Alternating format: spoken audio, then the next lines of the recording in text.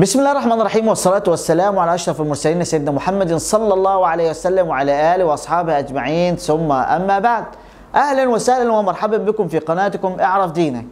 عندنا حوار حلو قوي قوي قوي قوي موضوع سهل جدا وعايزين نتكلم عليه وشاغل كتير قوي من الناس عايزين نعرف هل كيد الشيطان أعظم أم كيد النسوان. طبعا إذا نظرنا في القرآن هنلاقي إن ربنا قال في كيد الشيطان بسم الله الرحمن الرحيم فقاتلوا أولياء الشيطان إن كيد الشيطان كان ضعيفا. وقال في حق النساء إن كيدهن عظيم. طيب إحنا مش عايزين إحنا مش ما بنوبخش في النساء حاشا لله وكلا. مش بنقول النساء حاجة وحشة لكن إحنا بنتكلم في بعض النساء هل كي كيد النساء أعظم أم كيد الشيطان أعظم؟ ليه؟ إيه الفرق بين كيد الشيطان وكيد النسوان؟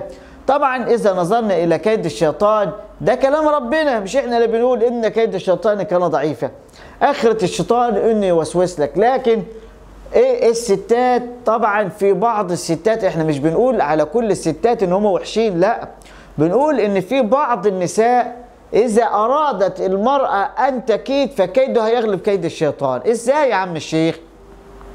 تعالوا نبص واحدة واحدة. النهاردة لما يجي الشيطان يغويك انت عشان تقع في معصية مع واحدة ست تزني أو تعمل فيها الفواحش. لو هي الست مش راضية انت عمرك ما هتعرف تعمل معاها حاجة. صح ولا مش صح؟ صح الكلام. يبقى الشيطان ما يقدرش يتحكم فيك لدرجة ان هو يغويك ويغويها. إذا انت هو غواك وزيلك المعصية لكن لو هي ردتك أنت مش هتقدر تعمل معاها حاجة. يبقى اذا الشيطان برضو ما خدش اللي هو عايزه. يبقى طيب وإذا أرادت المرأة بعض النساء لو أرادت المرأة أن تكيد بالإنسان وتوقعه في فيها هتوقعه ولا مش هتوقعه؟ طبعا هتوقعه. طب هتوقعه؟ هل فيه راجل يقدر يقول للست لأ؟ طبعا إلا من رحم ربي. طبعا في حديث ورد عن النبي عليه الصلاة والسلام سبعة يظلهم الله في ظله يوم لا ظل إلا ظله. من هؤلاء السبعة رجل دعته امرأة ذات منصب وجمال. ليه؟ الراجل ده من ضمن السبعة اللي ربنا هيظلهم تحت عرشه. اشمعنى يعني السبعة دول من ضمن السبعة؟ اشمعنى الراجل ده اللي قال لك دعته امرأة ذات منصب وجمال؟ فقال إني أخاف الله. ليه؟ لأنه طبعا نادر جدا النوع ده من الناس اللي هو اللي يجي له واحدة ست ومش أي واحدة ست جاية من الشارع مش أي واحدة ست تأباها النفس مش أي واحدة ست جاية كده فقيرة ده ولا أي واحدة ست جاية كده تأباها النفس ولا تشمئز منها النفوس ده امرأة ذات منصب واحدة منصبها عالي. يعني بقيتها حاجات كتير قوي تحبسك تسجنك تقول لك روح وتقول لك بقيتها حاجات كتير قوي. ذات منصب وليست ذات منصب وبس ده كمان ذات منصب وجمال. يعني معاها المنصب ومعاها الجمال. فليست امرأة كسائر النساء لكنها امرأة جميلة. ومش كده وبس ده كمان لقد أغنت عن مطالب السعي إليها. يعني ريحتك من طول السفر ليها والسعي وراها وإن أنت تفضل تحارب عشان بس تاخد منها نظرة. مش هقول لك إن هي تبص لك وتضحك لك. مش هقول لك إن هي تقعد معاك. ده أنا بقول لك واحدة ست جميلة قوي و... و... ومنصبها عالي جدا. ده أنت بتقعد قدام الإنسان اللي هو اللي عنده منصب كبير إن كان ضابط ولا لواء ولا رئيس ولا وزير. بتبقى حاسس إن أنت بص يعني مش حاسس إن أنت عايز الأرض تتشق وتبلعك. فما بالك بواحدة جميلة ومنصبها عالي ومش بس كده وبس ده كمان هي اللي طالباك ومع ذلك تسيب ده كله وتيجي في الآخر تقول إني أخاف الله. ومع ذلك ربنا كافئ النوع ده وظلوا تحت ظل عرش يوم القيامة. إشمعنى برضو النوع ده؟ اللي هيقدر يقاوم لأن النوع ده نادر جدا اللي يقدر يقاوم الست. مكر الست مكر الست كبير قوي. الست لو عايزة تجيب الراجل هتجيبه. طيب أنت بتقول كلامه بس يا عم الشيخ ولا بتقول كلام علمي؟ طب ادينا الدليل على إن كلامك صح. محدش يزعل مني يا جماعة أنا مش بتكلم على النساء إن هم وحشين. أنا بتكلم على الصنف من الناس. إذا أراد أن يكيد بالإنسان هيكيد بيه وهيوقعه غصب عن عينه. ليه؟ لأن النبي صلى الله عليه وسلم قال ما تركت فتنة أضر على الرجال من فتنة النساء. مفيش فتنة في الأرض أعظم من فتنة النساء.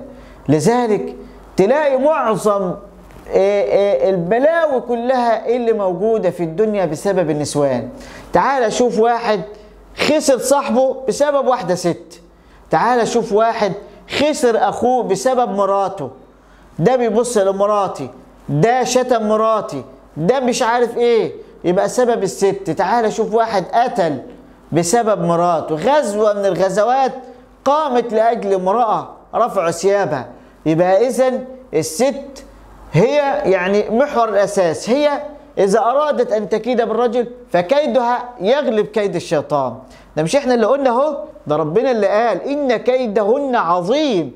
طيب النبي عليه السلام لما قال لنا ما تركت فتنة أضر على الرجال من فتنة النساء لأن الستات هي الأساس هي اللي تقدر تجرجر الراجل لأن النساء فتنة وفتنة عظيمة.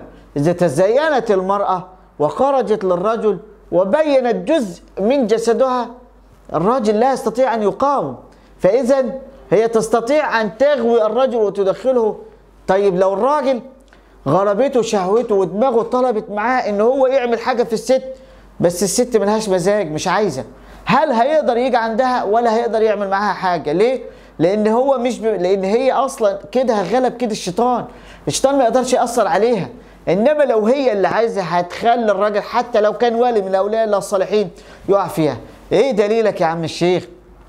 تعال هات دليل تاني. طب هو النبي سيدنا سيدنا نبي الله آه نبي الله يوسف الصديق أهو نبي. ومع ذلك قال في كتاب الله العزيز ربي والا تصرف عني كيدهن أصبو إليهن واكن من الجاهلين. يعني إيه أصبو إليهن يا عم الشيخ؟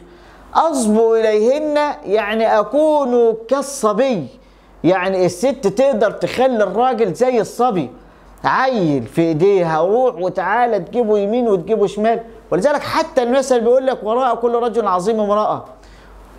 الست هي اللي بيتها مقاليد الأمر. لذلك يعني أنا أرى من وجهة نظري إن الراجل لا يستطيع أن يغير امرأة إلا نادرا جدا. لكن المرأة هي التي تستطيع أن تغير الرجل. يبقى الراجل ما بيغيرش ست لكن الست هي اللي تقدر تغير الراجل. الكلام اللي انت بتقوله ده كلنا نعلم علم اليقين إن الست هي اللي بإيدها مقاليد الأمر.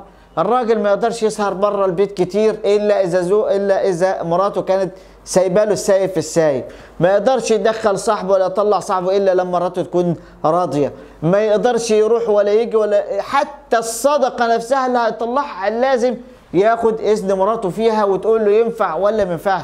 ولذلك الله سبحانه وتعالى قال وشاركهم في الأموال والأولاد. طب شاركهم في الأموال لإبليس؟ قال له شاركهم في الأموال إزاي؟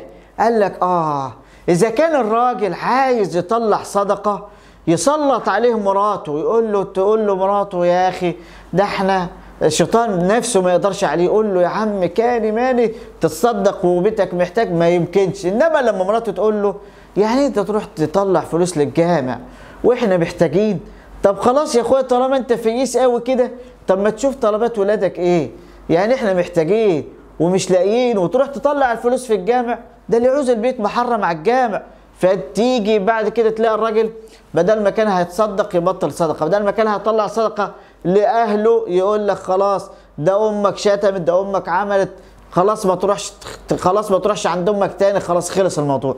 90% من الستات هم اللي بيبعدوا الرجاله عن أهاليهم. هم السبب في قطيعة الرحم. هم السبب في إن الإنسان ممكن يقتل. في هي هم السبب في إن الإنسان ممكن يزني. هم السبب في إن الإنسان يقدر يعمل حاجات كتيرة قوي محرمة. كل ده بسبب إيه؟ بسبب فتنة النساء. يبقى إذا ان كيدهن عظيم. يعني الست لو عايزة توقع إنسان في مصيبة هتوقعه وهتلبسه مصيبة. حتى في أيامنا إحنا الأيام دي لو واحدة ست اتبلت على راجل وقالت ده عمل فيا وقطعت هتوديه في 60 داهية. واحدة ست توقف بلد بحالها. ليه؟ لأن سبحان الله ربنا قال زين للناس حب الشهوات من النساء والبنين والقناطير المقنطرة من الذهب والفضة والخيل المسومة والأنعام والحرث. ذلك متاع الحياة الدنيا. والله عنده حسن المآب. أرجو من حضراتكم إن محدش يزعل مني لا من الستات ولا من الرجالة. إحنا مش بنقول إن الستات كلهم وحشين لكن بقول إن الست بإيدها مقاليد الأمر في أمور كتيرة قوي وفتنتها أعظم من فتنة الرجال وفتنة الشيطان نفسه. لأن الشيطان إحنا عرفنا ديته ولذلك الدليل على كده إن ربنا قال في الزاني والزانية قال الزانية والزاني. بدأ بالزانية وقال السارق والسارقة بدأ في السرقة بالراجل وبدأ في الزنا بالمرأة. ليه؟ قال لك لأن الست هي اللي بإيدها مقاليد الأمر. لو الست مش عايزاك تيجي عندها ولا تلمسها والله لو كنت عنتيل لو كنت الخط خلفت الخط مش هتعرف تقرب عندها. إنما السرقة معظمها من الراجل هو الراجل هو الأساس فيها إنما الزنا هي اللي بإيد الست. الست عايزاك هتجيبك مش عايزاك خلاص لو وقفت على دماغك مش هتعرف تعمل معاها حاجة. والرجاله عموما يعني دائما وابدا الرجل الرجل فيهم ضعيف أمام إلا من رحم ربي.